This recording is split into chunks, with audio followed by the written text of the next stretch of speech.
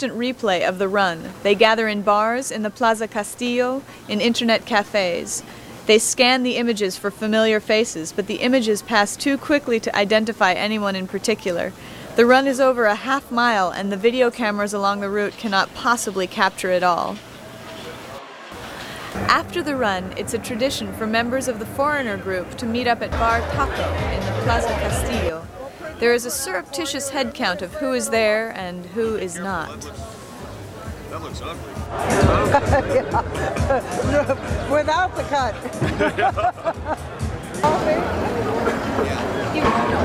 It was a the whole thing is somewhat macabre, going over the photos of yesterday's crop of the gored and maimed. It was a miracle he only got scratched. Yeah, that's probably what it is. Yeah, yeah, How did they know that? Why? Because you kept on running. In hushed voices, some of the runners think they may have seen one of their own being carried off in a stretcher. The two Americans, yeah. Someone in the group mutters two Americans, and the man with the mutton chops hasn't shown up yet. We couldn't believe so many people were going this way and that way, and you're walking up, and there's puddles of blood on the street as you're going, and just, and then the shops are opening like, all right, let's go for business again.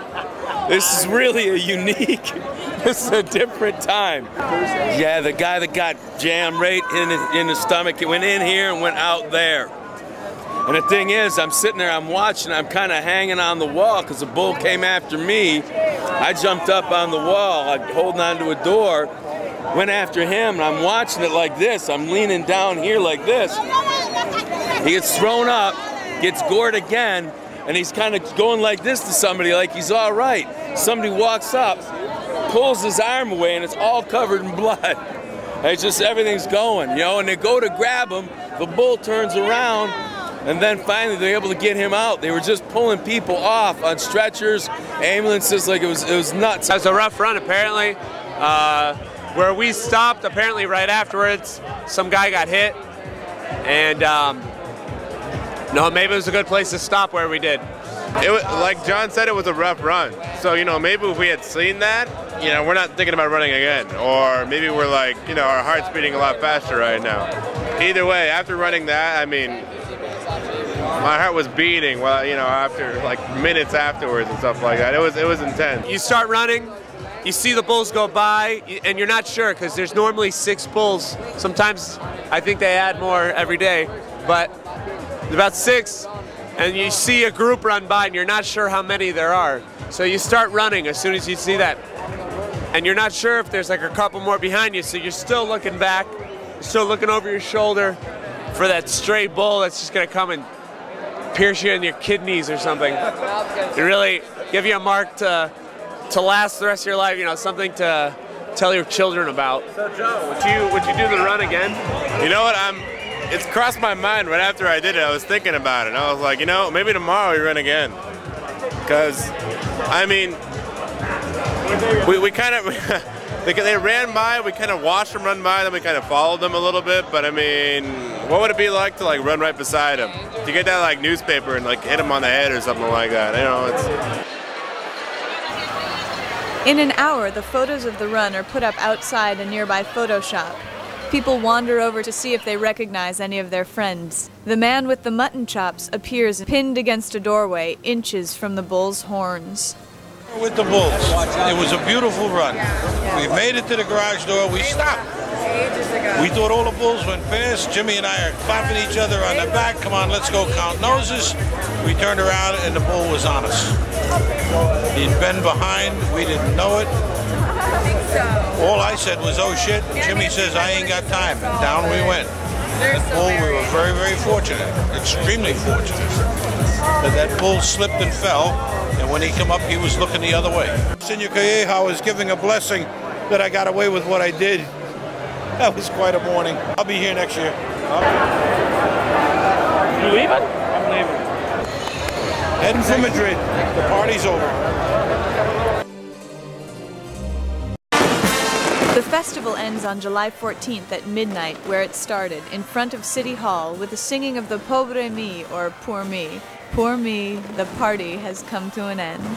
The revelers remove their festival scarves. They will not put them on again until next year's San Fermin festival. When the sun rises, the bars close for the first time in the nine days of the festival. The streets are cleared of trash. Almost all the foreigners have left town. Only the Spanish and Basque remain, are thoroughly exhausted from days and nights of constant fiesta, but many still don't want the fiesta to end. The festival is officially over, but there are indications that something unofficial is in the works.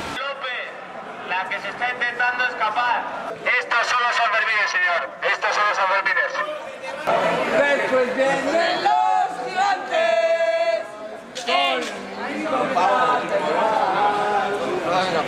Hundreds of diehards drift down the sloping street of Santo Domingo where the bull run starts and chant the traditional prayer to San Fermin before the running of the bulls.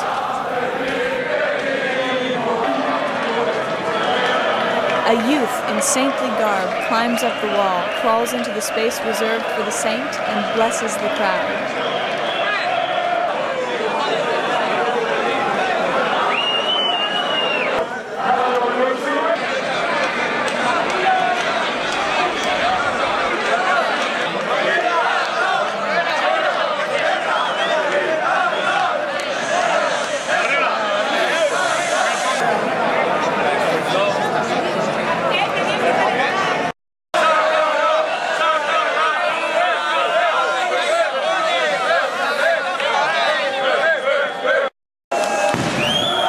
Then a rocket goes off, a flare set off. The unofficial last event of the festivals gets underway.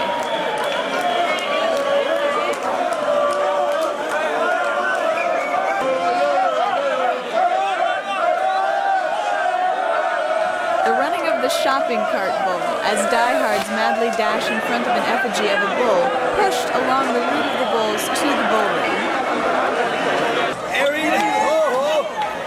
Here and there, the festival diehards drop to the pavement in mock agony. El, ¿Qué pasa? El Toro.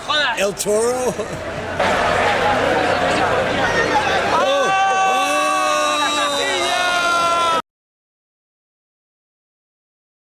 Go to Pamplona and get gored, yeah. I've done Mardi Gras, nine spring breaks, Fantasy Fest in Key West, Times Square in 94, 95, Chicago the Millennia, nothing, nothing compares to this town. You could combine them all together, and nothing else compares to this town. That's a fact. But the adrenaline rush and the history behind it is just so phenomenal. I mean, everyone should at least experience it once. San Fermin cannot be explained, it can only be experienced.